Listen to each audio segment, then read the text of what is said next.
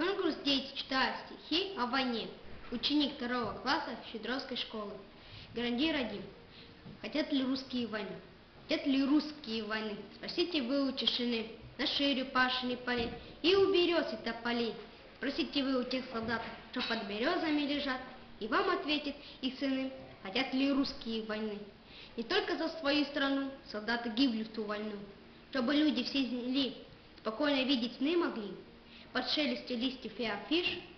Ты спишь в нее, ты спишь в Париж, пусть и вам ответят ваши сны. Хотят ли русские войны?